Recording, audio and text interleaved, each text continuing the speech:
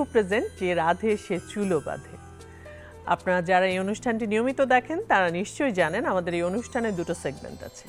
একটি beauty segment এবং একটি কুকিং সেগমেন্ট সেই সাথে একজন সেলিব্রিটি সব সময় আমাদের সাথে থাকে। আমাদের আজকের গেস্ট অঙ্কন বাংলার গান থেকে। বাংলার গানের সেকেন্ড রানার আপ অঙ্কন। চলে এসো অঙ্কন। কেমন আছো?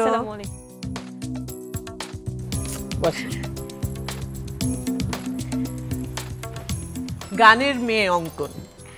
গান কি অনেক ছোটবেলা থেকে করো? হ্যাঁ ছোটবেলা থেকেই গান শেখা। যেহেতু পরিবারে গান বাজনা ছিল আব্বু আচ্ছা। সকলে গান করতো। বাবা মা গান করে দুজনই? হ্যাঁ। বাবার কাছে হাতে খড়ি গান শিখছি বাবার কাছে এখনও। আচ্ছা তাহলে তো মানে জন্ম থেকেই গান গাইছো তুমি। বলতে গেলে তাই। অবস্থা। আচ্ছা অঙ্কন আমাদের এই অনুষ্ঠানের দুটো দুটো সেগমেন্টের একটি হচ্ছে বিউটি সেগমেন্ট এবং এখানে তোমার চুলটি খুব সুন্দর একটা হেয়ার স্টাইল করে দেয়া হবে। তোমার হেয়ার স্টাইল করার জন্য Sonali HD makeup studio and salon থেকে এসেছে ববি। ববি, চলে এসো। তো অঙ্কন, তুমি তো জন্ম থেকেই গান গাইছো বলা যায়, তারপরেও মানে কবে, কখন থেকে গানের সাথে যুক্ত হলে সেরকম কি কিছু মনে পড়ে? গানের সাথে বলতে আমার কম্পিটিশন করা বা জাতীয় জাতীয় পর্যায়ে পুরস্কার পাওয়া শুরু হয়েছিল টু থাউজেন্ড থেকে। আচ্ছা। এবং আমি টু থাউজেন্ড সেভেনে প্রাইম মিনিস্টারের কাছে পুরস্কার পাই। আচ্ছা। তো ওই জাতীয় পর্যায়ে প্রতিযোগিতাগুলো করতাম।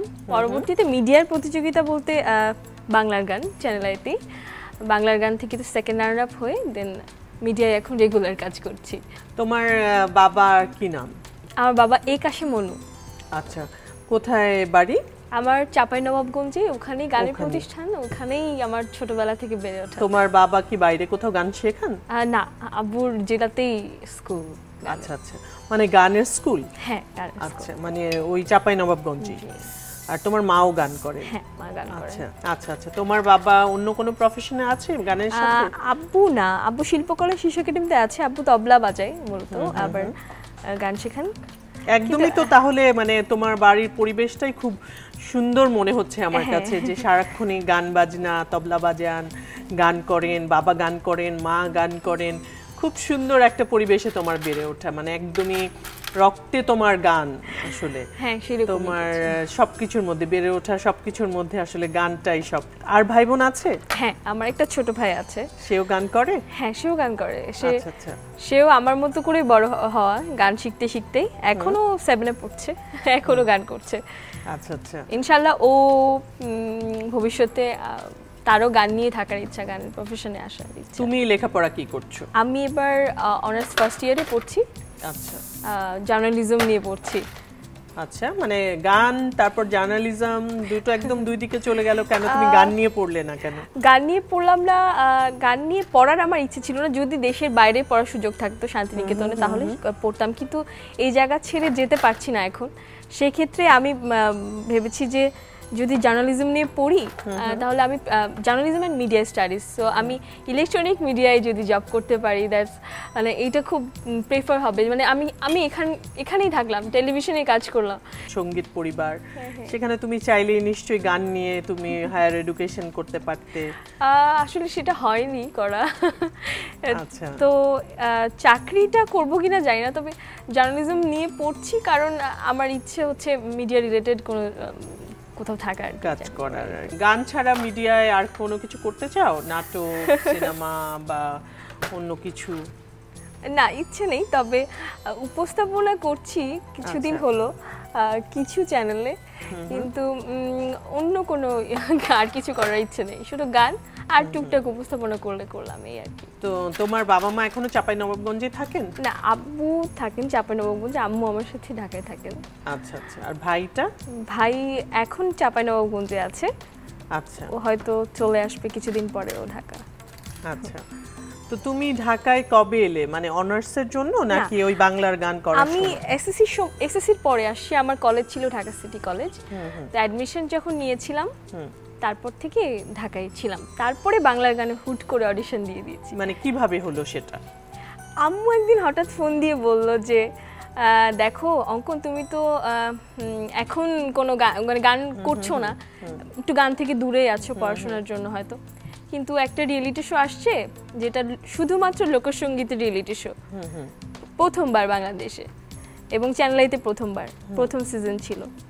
তো হঠাৎ করে আম্মু বলল এবং তারপরে অডিশন দিতে রাজশাহী চলে গেলাম। ঢাকা থেকে অডিশন দিতে পারতাম কিন্তু ওই যে একটা জেলার ব্যাপার বিভাগের ব্যাপার আমার জায়গা এইটা ভেবে। অডিশন ওখান থেকে দিলাম আম্মুর কথাতেই যে দিয়ে দেখো কি হয়। হুম হুম। যেহেতু এটা ফোক তুমি তুমি তো ফোক গাও। তুমি নর্মালি ফোক গাও। হ্যাঁ। এভাবেই আসা এবং একটা একটা পরে রাউন্ড চলে গেল। টিকতে থাকলাম। তবে আমার ছোটবেলা থেকেই খুদে গানরাজ দেখতাম সেরা কণ্ঠ দেখতাম। ইচ্ছে ছিল যে যদি চ্যানেলে পরিবারের কেউ হতে- হতে পারি কোনোদিন। এবং মনে হলো যে স্বপ্নটা আসলে পূরণ হয়ে গেছে। সত্যি একেবারে ঘটনা এটা আমার লাইফে যে ইচ্ছেটা পূরণ হয়ে গেছে। আচ্ছা ওই যে প্রথম যখন বাংলার গানে তুমি অডিশন দিতে এলে নার্ভাস ছিলে? অনেক নার্ভাস ছিলাম কারণ হুট করে রাজশাহী গেলাম আর কি রাতের মধ্যে। এবং অডিশন দিচ্ছি আমার জার্নি করে যাচ্ছি কি হবে বা আমি ঠিকমতো প্রিপেয়ার না। কিন্তু কি যে আত্মবিশ্বাসটা ছিল যে যাই হয়ে যাক আমি আমারটা গাইবো আমার বেস্টটুকু দিব। নার্ভাস ছিলাম তবেও নিজের বেস্টটুকু দেওয়ার চেষ্টা করেছিলাম। কোন গানটি গিয়েছিলে মনে আছে? গিয়েছিলাম উম, বলিমা চরণ ধরে লালন গীতি। আচ্ছা আচ্ছা। প্রথম রাউন্ডে দ্বিতীয় তারপর যারা জাজ ছিল তারা তাদের কি কমেন্টস ছিল তোমার গানটি শুনে? বলেছিল যে তোমার গান কেমন হচ্ছে সেটা আমি বলব না। তুমি আবেগ দিয়ে গেছো এটা আমি বলব। খুব সুন্দর গেছো কে ছিলেন জাজ যার ছিলেন হচ্ছে খুশিদ আলম ছিলেন শিমুল আপা ছিলেন আহ, রেবা আপা ছিলেন। মনির ভাই ছিল। এই তো। আচ্ছা। অনেকে ছিলেন প্রথমবার audition- audition ওনাদেরকে সামনে থেকে দেখেছ তাদের সামনে গান গেয়েছো প্রথমবারই নিশ্চয়ই দেখেছ তখন তাদেরকে? প্রথমবার ঠিক না। আমার এর আগেও যারা ছিলেন আর কি যেমন মনির ভাই ছিলেন শিমুল আপা ছিলেন এদের সাথে আমার পরিচয় ছিল। ওনাদের সাথে এর আগে দেখা হয়েছে কিন্তু গান গাওয়ার সুযোগ হয়তো হয়নি। ওনারা প্রথমবারই শুনেছেন আমাকে। এটা প্রথমবার হয়েছে। মানে ওই বিষয়টা নিয়ে একটা নার্ভাসনেস কাজ হ্যাঁ করছিল তোমার। নার্ভাসনেস ছিল যে আমি কি করব আসলে? আমি তো জার্নি করে যাচ্ছি। মানে কনফিডেন্স ছিল হ্যাঁ, যে আমি অবশ্যই জিতবো বা আমি টিকে থাকব। ওই যে আত্মবিশ্বাসটা ছিল যে যদি আমি সত্যি কিছু নাকি একটু গাইতে পারি তো সেটাকে আমাকে দেখাতে হবে। তার বাকিটা তাদের উপর। নিজের বেস্টটুকু দিয়ে তারপর যা হবে হবে আর তোমার বাবা কি বলেছে তখন? আব্বু খুবই আত্মবিশ্বাস জুগিয়েছিল যে যেহেতু এসেছ ভালোটাই করে যাওয়া তারপর কোনো সমস্যা নেই। হলেও হবে না হলেও হবে কোনো সমস্যা নেই। তুমি করে যাও। আর চাপাই নবাবগঞ্জের যে ফ্যামিলি অন্যান্য ফ্যামিলি তোমাদের প্রতিবেশী যার পরিচিত লোকজন এখন তাদের কি রিয়াকশন তোমাকে দেখে? তারা সত্যি আমাকে নিয়ে প্রাউড ফিল করে। আমার এটা জেনে ভালো লাগে যে চাঁপাইনবাবগঞ্জবাসী আহ, সেই জিনিসটা ওরা ফিল করে যে আমি একটা জায়গায় যাচ্ছি একটা ভালো জায়গায় আসছি এবং আমার যেদিন ফিনালে সেদিন তো বড় একটা পর্দায় দেখানো হয়েছিল যেভাবে খেলা দেখে আচ্ছা, আচ্ছা, সেভাবে বড় একটা পর্দায় দেখানো হয়েছিল ফিনালে এগুলো আসলে খুব উৎসাহ দিয়েছে আমাকে তারাও অনেক উৎসাহী আমার ব্যাপারে গানের ব্যাপারে। প্রচুর ভালোবাসা পেয়েছি আমি আমার জেলার মানুষের কাছে এটা বলাই লাগবে। খুব ভালো তোমার জীবনের গল্পগুলো শুনে খুব ভালো লাগল। ববি হয়ে গেছে? বাহ। কি সুন্দর করে ববি তোমার হ্যাঁ। হেয়ারটা সেট করে ফেলল।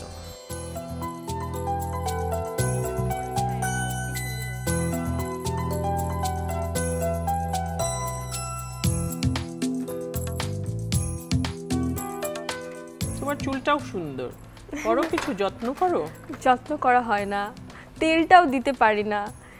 শুটিং নিয়ে ব্যস্ততা গানের ব্যস্ততা পড়াশোনার ব্যস্ততা যত্ন নেওয়া হয় না। তবে আম্মু খুব বলে যে দেখো চুল এখন আছে এখনই যত্ন করো পরে কিন্তু আর পাবে না। আম্মু মাঝে মধ্যে তেল টেল দিয়ে দেয়।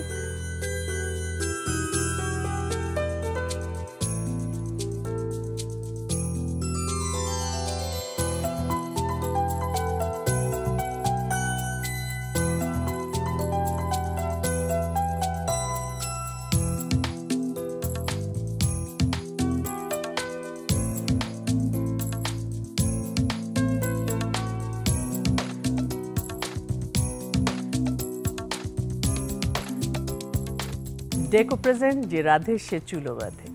দর্শক চলে যাচ্ছে ছোট্ট একটি বিজ্ঞাপন বিরতিতে ফিরে আসছি এক্ষুনি।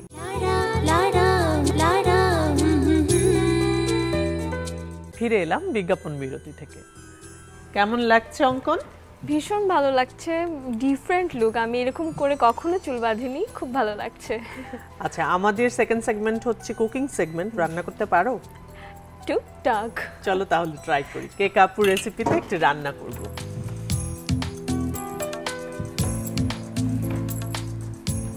রান্না করবে আজকে? আজকে কলিজা দিয়ে কলিজা খিচুড়ি ইয়ে খুবই মজার। এখানে পরিমাণ মতো মাপা আছে পানিটা। তোমার হ্যাঁ। এখানে পাঁচশো গ্রাম চাল আছে আর এখানে এক লিটার পানি আছে। কি কি লাগবে তোমার? এখানে তো পাঁচশো গ্রাম চাল। চাল সাথে ডাল মিক্স ডাল করা আছে। পেঁয়াজ আছে এবং পেঁয়াজ বেরেস্তা আছে আর কলিজা আছে। এখানে রসুন বাটা। আর ঘি রসুন বাটা ঘি হলুদ মরিচ লবণ মরিচ লবণ সবই। আচ্ছা ওকে। গরম পানি আছে তুমি দিয়ে দিতে পারো। দিয়ে দিচ্ছি। চাল আর ডাল মিলিয়ে দিয়ে দিচ্ছ।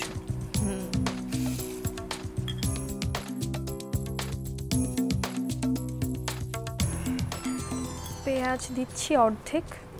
আচ্ছা।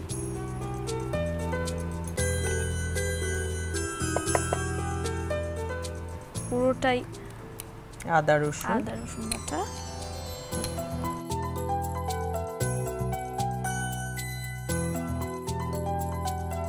মরিচ দিচ্ছি। মরিচ পাতা আচ্ছা এগুলো সম্পূর্ণ কলিজা দিয়ে দিলাম। কলিজাটা একটু বয়েল করা আছে। হ্যাঁ। পেরেস্তা অর্ধেক দিয়ে দিচ্ছি। একটু কাঁচামরিচ আস্ত কাঁচামরিচ। একটু ঘি দিয়ে দিচ্ছি এখনই। সরিষা সরিষার তেল একটু। এখন আমরা পনেরো মিনিটের জন্য ঢেকে দিব।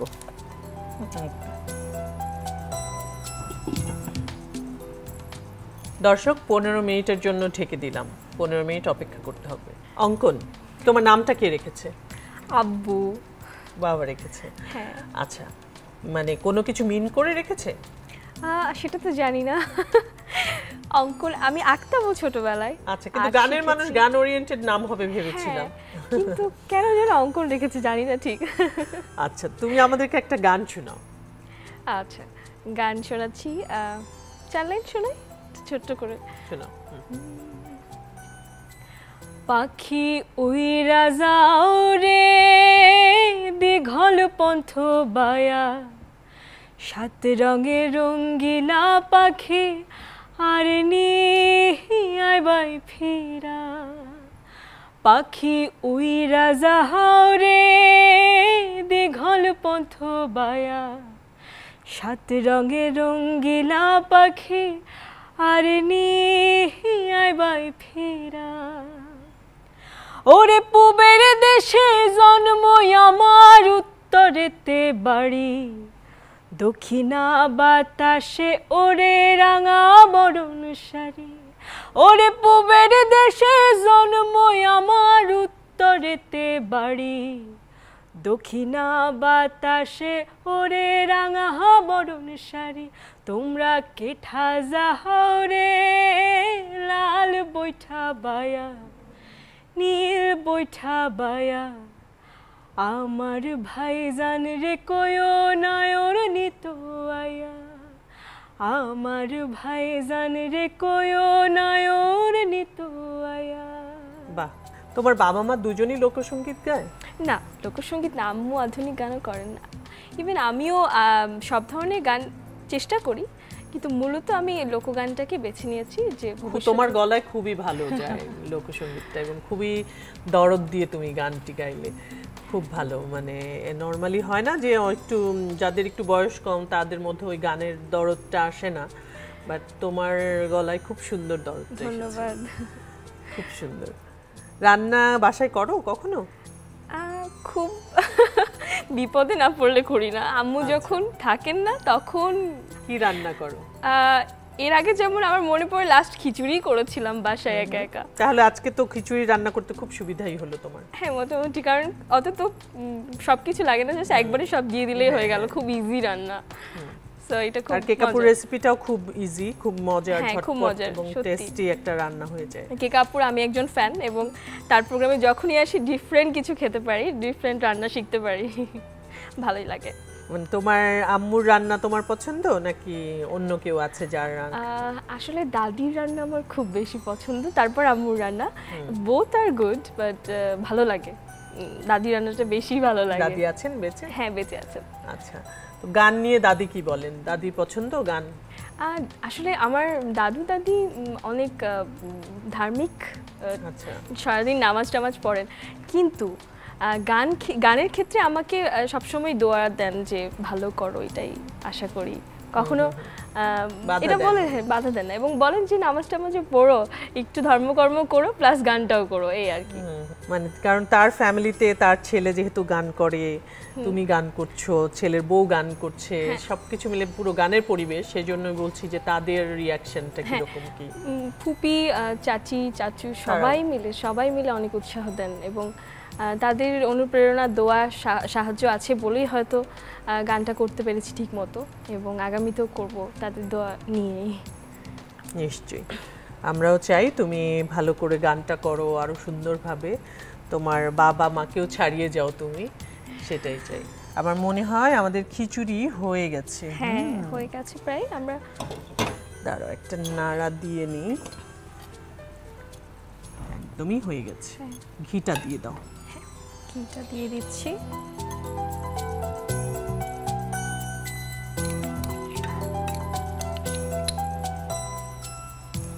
কোনটার মধ্যে আমরা সার্ভ করব? ওকে। ঠিক আছে। চুলাটা বন্ধ করে দিই। হ্যাঁ।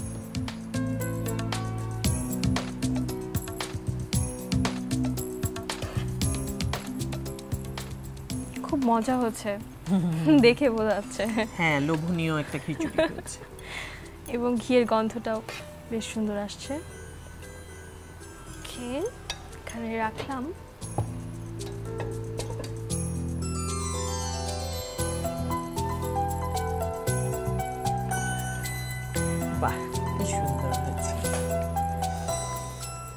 দর্শক, তৈরি হয়ে গেল কলিজা খিচুড়ি। এত সুন্দর একটা গন্ধ আসছে, আপনি বাসায় না ট্রাই করলে কিন্তু একদমই বুঝতে পারবেন না। আপনি বাসায় ট্রাই করুন এবং জলদি জলদি খেয়ে ফেলুন খুবই মজার হয়েছে। অনেক অনেক ধন্যবাদ অঙ্কন। চলো আমরা ধন্যবাদ আপু। এসো।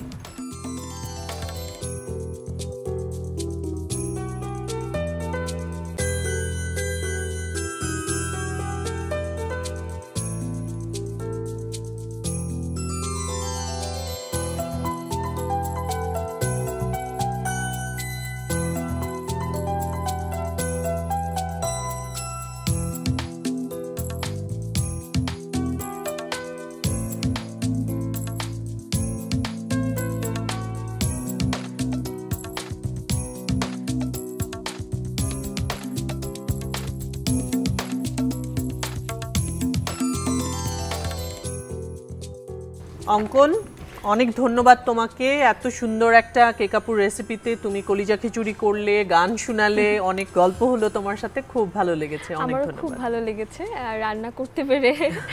আর যে রাধেশে চুলো বাঁধে অনুষ্ঠানটা আমার অনেক প্রিয় অনুষ্ঠান এখানে আসতে পেরেছি এবং কে কাপাকে ধন্যবাদ চ্যানেল আইকে ধন্যবাদ। এই ছিল আমাদের আজকের আয়োজন।